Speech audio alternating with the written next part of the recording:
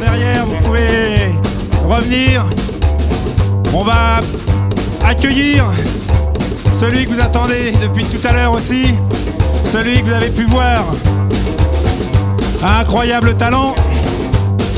Il a joué dans différentes émissions. Il a été joué à Las Vegas.